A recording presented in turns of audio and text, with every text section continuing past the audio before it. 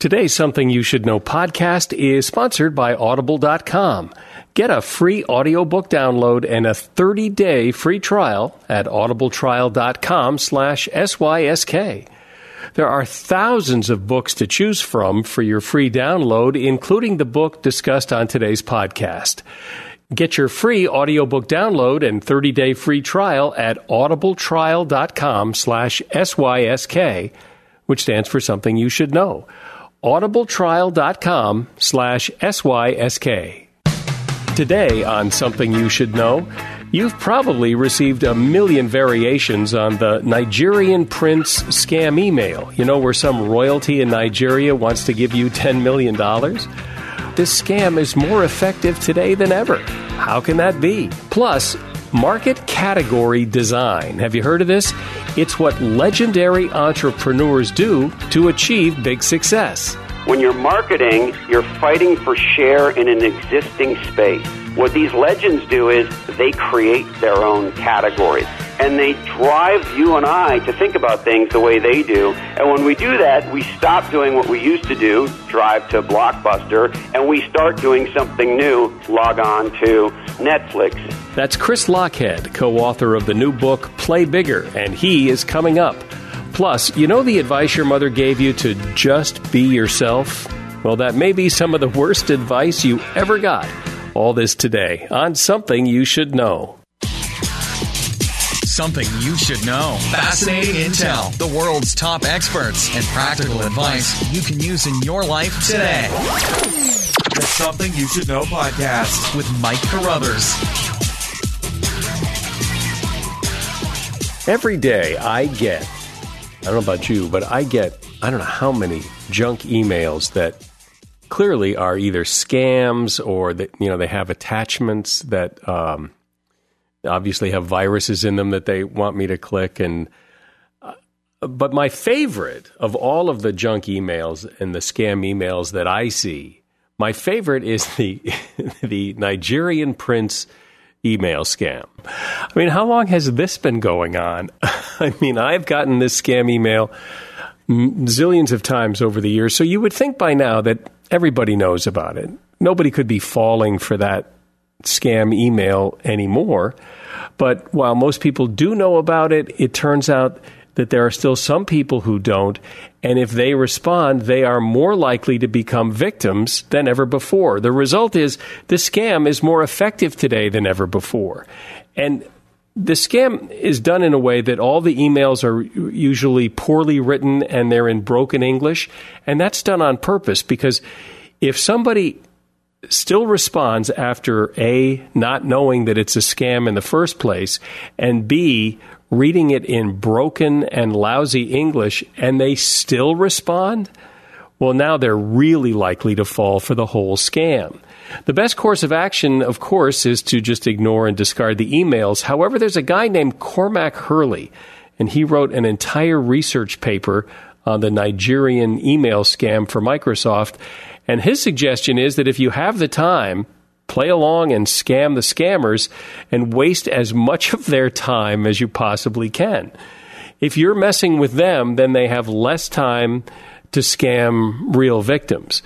Just make sure you use an anonymous email address when you correspond with them. Otherwise, you'll get email, scam emails for every adult product in the world for the next 20 years. There's actually a TED Talk video you can watch to see what happened when this comedian, his name is James Veitch, I believe it is, uh, engaged with the scammers and pretended to go along with them. And it is hilarious to watch this video. All you have to do is uh, Google James Veitch, V E I T C H, James Veitch email scam, and the video will come up at the top of the, the Google search. And that is something you should know. There are successful entrepreneurs, and then there are the super successful entrepreneurs. Think Mark Zuckerberg, Steve Jobs, Elon Musk, and the usual list of super duper entrepreneur suspects. So, what separates the good ones from these great ones? Well, in many cases, it is something called market category design. It's really quite fascinating, and here to discuss it is Christopher Lochhead. He is one of the authors of a new book called Play Bigger, which is the result of some serious research on the topic. Hi, Christopher. Welcome. Excellent. Well, it's my pleasure to be here, Mike. So, explain what category market design is and where it comes from. Traditionally, innovators, when they come up with something new that they want to unleash on the world, uh, traditionally they do two things. They build what they hope is a legendary product and a legendary company to deliver that product, and they launch it into the world. And they hope that the world sort of figures it out, that they understand this innovation.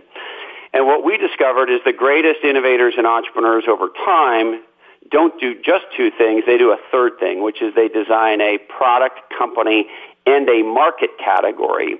And so by doing that third thing, they materially increase the likelihood that they're going to succeed. And so ultimately, that's what it is to play bigger. And who do we know that we would know does this? Uh, so a great example would be somebody like uh, Mark Zuckerberg at Facebook. Uh, as you may know, there were many social networks uh, at the time that Facebook launched, and uh, today there's only one. And so the question is, why did Facebook win where MySpace and uh, Tribe and, and so many others failed? And the reason for it is the magic combination, we call it the magic triangle of all three of those things, right product, right company, and right market category. And specifically, Zuckerberg taught us to accept the definition of what a social network should be that was in alignment with his point of view. And when we accepted his point of view, we all logged on to Facebook and forgot about MySpace. And that's really what legendary innovators do. They design a category by teaching you and I to think about a problem and a solution the way they do. And if we accept their point of view, then ta-da, a new market emerges do you think that's deliberate? I mean, did Mark Zuckerberg sit down and think, well, now I've got to teach people about my market category? Or is this Monday morning quarterbacking and saying, oh, see what he did? By accident, he just kind of stumbled into this? Well, certainly some entrepreneurs and innovators uh, stumble into it by accident. Um, if you had asked Zuckerberg at the time, are you doing category design? Uh, of course, he probably would have said no. He, he might not know what category design is. But what we, what we discovered is that the legendary entrepreneurs have a natural intuition about the market. Uh, Jobs, Steve Jobs was another great example where they understood that for their innovation to take flight, the world needed to see things the way they did. So for example, in 2001, Bill Gates launched the tablet PC. And he did what most entrepreneurs do, which is they say, hey, look, isn't this a cool new product or technology? And they have a, essentially a features discussion with the world. And if the world connects the dots between those features, a benefit, and most importantly, a problem that they want solved, then they buy the product. The problem, however, is that more often than not, the world doesn't connect those dots as they didn't in, 90, in 2001. And then in 2009, when Jobs launched uh, the iPad, which was another tablet computer, he did something different. He stood on stage and he said, we believe there's room for a third category of device. And now let me tell you why. And he shared his point of view about why there was a problem that wasn't being solved by a laptop or a smartphone that needed to be solved by a tablet. And when you and I accepted his definition, his point of view, we all stood in line to buy uh, iPads in a way that we didn't when uh, Gates did a similar thing, but he didn't condition the market to think about it in a new way. Even though the iPad and the Microsoft tablet more or less did the same things. Exactly. And you could argue that the iPad was a better product, and maybe it is and maybe it isn't, but essentially designed to do a very similar thing and solve a very similar problem. However, the world didn't understand why it needed a tablet PC uh, in, in a, because Gates didn't teach us and Jobs did. And so what many entrepreneurs forget is that in order to buy a solution, the world needs to relate to and understand a problem. And interestingly enough, once you and I as consumers get what the problem is, we rush to the solution. Yeah. Well, that's interesting. So if in fact uh, people are are conditioning the market, that's really a marketing strategy. It's not so much about the product; it's about how you condition your buyer. Exactly, Mike. And the thing that is unique, however, from traditional marketing, uh, marketers have to understand that in order to do marketing, a market must exist. So if it's an existing market, by definition, it was designed by someone else. And so if we're launching a product or service into an existing market that was designed and created by someone else, we're at a disadvantage. In the research for our book, Play Bigger, we did an analysis of every venture-backed technology company founded in the United States since 2000. And we asked the following. We asked, what percentage of market cap goes to the leader, the category king? That is to say, what percentage of the total value in the market goes to the leader? And what we discovered is that number 76%. So in the technology industry, it's a winner take all game with the leader getting two thirds of the economics. And so the question is, how do you become that leader? And what we discovered is the way that legendary entrepreneurs, Benioff, uh, at, at, Salesforce.com, Jobs and, and Zuckerberg, who we've talked about, Reed Hastings, the founder of Netflix, what these legendary entrepreneurs do is something different than just marketing. When you're marketing, whether you realize it or not, you're fighting for share in an existing space. What these legends do is they create their own category. They create the market itself and they drive you and I to think about things the way they do. And when we do that, we stop doing what we used to do, drive to Blockbuster, and we start doing something new, log on to uh, Netflix. And what Reed Hastings didn't do was say to the world, we've got a better uh, Blockbuster. He said, we have something different, something unique. Yeah, but but what if you're wrong? I mean, I imagine a lot of people create categories that suck. that, you know. Well, yeah, yeah, they do, and those categories don't go anywhere. And um, of course, you can be wrong. The question, however, is if you're entering an existing space, um, particularly in the technology industry, we know you're fighting for 25% of the market. And so, by definition, you're setting yourself up to fail. So yes, category design can fail, i.e. the category never takes off. But what's worse, failing in a category that you tried to dominate as your own or starting off knowing at best you're going to get uh, 25% of the market cap of the space.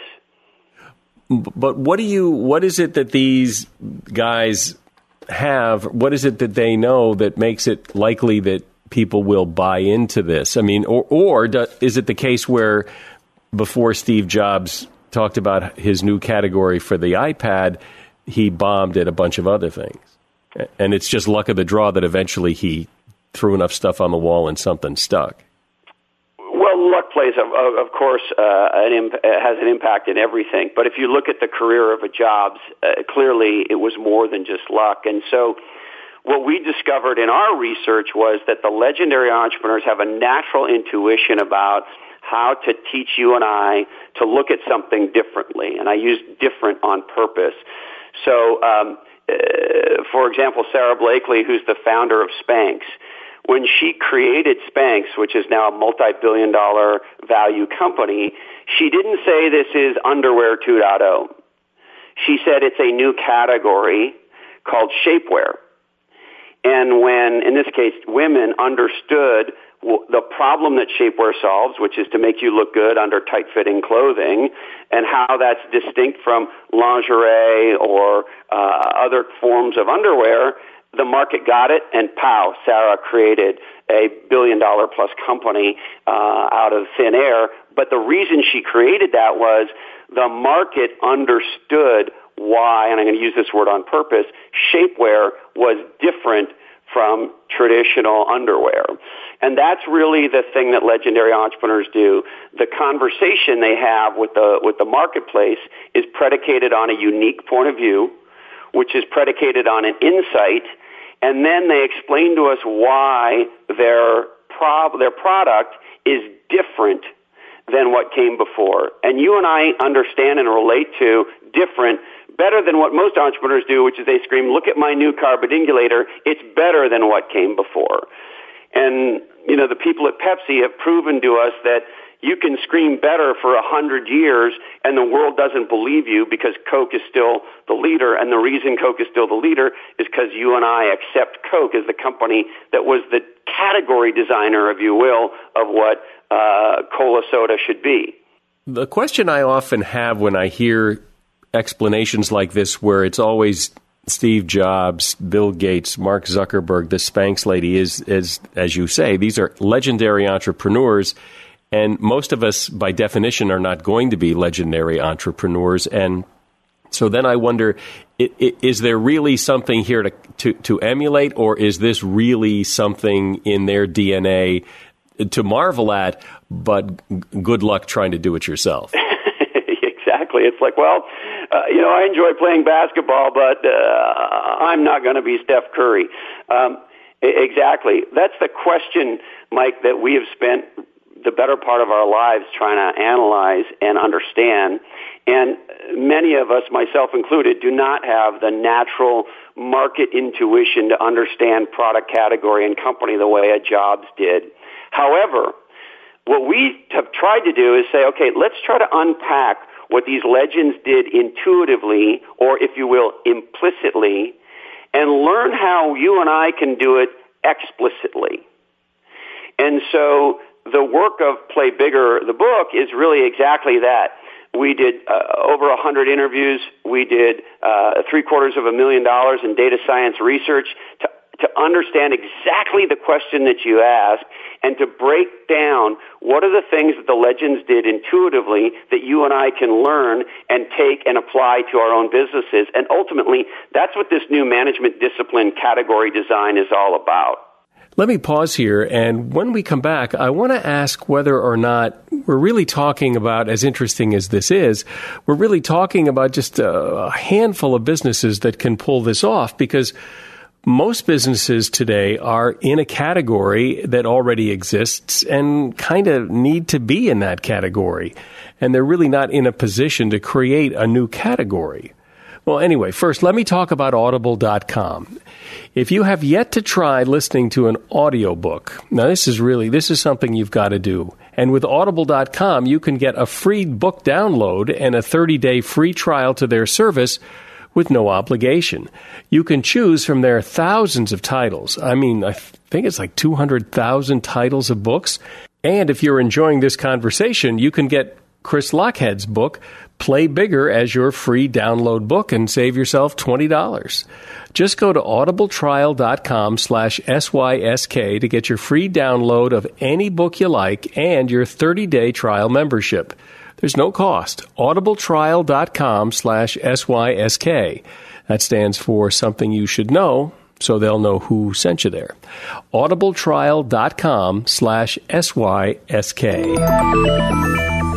I'm speaking with Christopher Lochhead. He is one of the authors of the new best selling book, Play Bigger, and we're talking about how super successful businesses don't fight for market share in an existing category, they create their own category. And my question is, isn't it true that most businesses can't really do that? I mean, if you're a dry cleaner, you're a dry cleaner. I mean, you can you can call it something else and pretend it's in another category, but when people want their clothes dry cleaned, they go to a dry cleaner, right? Well, maybe yes, maybe no. It turns out that small businesses can do category design as well. Uh, one of my personal favorite examples is there's a there's a famous deli in Montreal where I grew up called Wilensky's, created by uh, the patriarch of the family, who's now no longer with us, Mo Wilensky. His family continues the tradition to this day. It's a small local deli, and they make uh, what a lot of people would call a bologna sandwich. Um, and on a Wednesday afternoon in February when it's really cold in Montreal, there's a long line out the door to get a Wilensky special. And you could argue part of it is the product. People love the sandwich. But more importantly, Mo and his family over time created a distinct position in the world with a one location unique deli that delivers a completely different experience. And so you could open a generic deli and just say all the same things and do all the same things that everybody else does. Or in the case of Wilensky's, you can create a category of one. And when the world understands uh, why your sandwich is different than everyone else's, they'll line up. And so it's even possible for a small local business, an individual contributor, or even you and I in our own careers to distinguish ourselves in a way that we stand out and we, if you will, create a category of one that only we can fulfill. And whether that's you in your personal career or a small local deli like Wilensky's or ultimately Facebook, Uber, Salesforce.com, the principles of how you stand out around solving a problem, evangelizing that problem, and having the world understand why solving that problem makes a difference. Those, that thinking that underlies the strategies behind category design applies to an individual, a small business, or someone who's aspiring to be the next Steve Jobs. People buy things, though, not because they're different, but because they serve a purpose, right? Well, yes, but if the things that existed today served the same purpose, there would be there would be no need for the new thing. And so, what causes you and I, Mike, to say, "Oh, this new product serves an important purpose," is when we understand how it's different and how it can solve a problem that we know we have, or a problem that we didn't know that we had in a, in a uh, compelling way, such that we gravitate towards it. Yeah. Okay. But then who has to come up with the problem? I mean, in, in other words, does the, the person creating the category say, here's this new category and here's the problem that this solves? Or here's the new category and now you guys figure out which problem of yours this will solve and see if it doesn't work? The, the greatest category designs are, uh, designers are much more explicit about it. So, uh, for example, Henry Ford, when he launches the automobile, um, he doesn't call it the automobile. He doesn't evangelize its features. He calls it the horseless carriage. So he's describing it by what it's not in the context of what the market already understands. And he begins to evangelize the power of a carriage without a horse. And it's only when you and I understand that that we can accept the notion of an automobile. And so uh, we like to say, Mike, the greater the innovation, the more the market education. It's in, in hindsight, you would think, well, of course the market would gravitate towards the horseless carriage. But as we know, uh, less than 2% of startups in our country are ever successful, and roughly 50% of the Fortune 500 turns over every, every uh, 20 to 25 years. And the reason is companies fail to have their innovations or new products adopted in the market. And the reason for that is the market doesn't understand how they're meaningfully different from what came before. And that's really where category design begins to play. It's, it's category design, if, if you will, gets the market to come to you. Most companies have what they call a go-to market strategy category design is an approach for getting the market to come to you and to create pull where none existed before. And how much different does the new category have to be for people to see it as a new category? Can it just be a little different, or does it have to be, is it black or white, all or nothing? The world has to believe it's meaningfully different. You can have an argument about whether or not it is or it isn't from a quote unquote reality point of view. But as you know, perception becomes reality. So is a tablet that much different than a smartphone? You can have a technical feature oriented discussion about that, but you and I and the world recognized it as a distinct innovation solving a distinct problem that created a whole new market category. So the ultimate test is, does the world agree with you that it's different? And, you know, sometimes you can build a billion dollar business around a very small difference. And it's a matter of whether or not that the world accepts that difference as important and valuable. And that's ultimately the job of the category designer. But is there a concern here that when you try to deconstruct after the fact that somebody's done this, that it's it's kind of like you know a famous chef makes his soup and then you try to pick it apart and figure out how he makes it, but you never quite really get it because you can't because he is who he is. He's in your in in this discussion, it's Steve Jobs, it's Mark Zuckerberg. Those people are who they are, and you you can try to deconstruct what they did, but the secret sauce is still going to be missing. Well, I'm not a doctor, but here's what I know. Uh, when they do an autopsy on a human being, they don't find an organ in there called business talent or category design. um, so on one hand, Steve Jobs was no different than you and I. He was just a human being.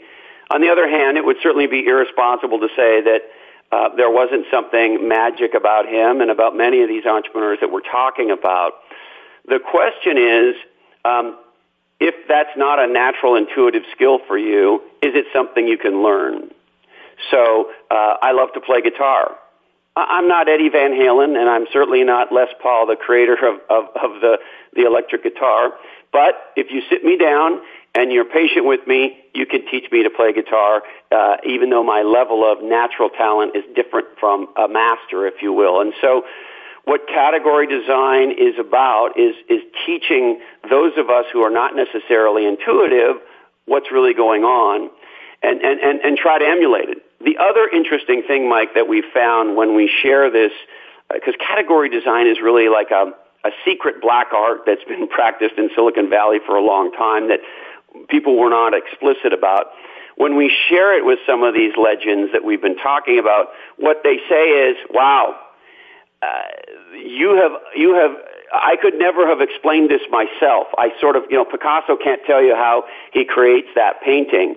But when they, when they hear about it and when they read it in the book, what they realize is, ah, yes, of course that's what I was doing. And so if you're natural about it, then you're natural about it, and that's a, a great skill that you have. If you're not, um, you want to learn about it. But even the people who are natural about it, when they begin to study it, they get even better at it. And so category design is like anything. Even if you have a natural uh, capability, if you learn more about it, you're going to get better. If you practice it more, you're going to get better. And if you're somebody who wants to build a great business and you're may, maybe more naturally uh, a product oriented person, then all, all the more reason you should study the category component of this. Yeah, great. Well, but but aren't there plenty of business categories? You mentioned Coke and Pepsi and yeah, Coke is number one, but Pepsi's done okay at number two, and, and, and Avis did okay at number two, and, and that, that there are plenty of categories where a little competition is just what's needed, and you may not be number one, but you'll do just fine. Yeah, and that you certainly see that outside of the technology space. Tech is our uh, area of expertise because the, the all four of us uh, co-authors of Play Bigger come from the technology industry. What we know in the tech industry is what I mentioned earlier around the data science research we did. One company takes two thirds of the economics. And that's not always true outside of the tech industry. However, if you start to look at the modern world, there's a eerie, uncanny, winner take all dynamic emerging in lots of markets. So for example, uh, the company that created five hour energy, Living Essentials, not only did they create a new product, they created it as a new category. They didn't call it uh, a soft drink. They didn't call it a sports drink. They called it an energy shot. And that market today is roughly a $2 billion category and they are, they're a private company, so it's hard to know for sure, but if you read some of the industry reports, they have uh, somewhere around $1.8 billion of that market category that they created.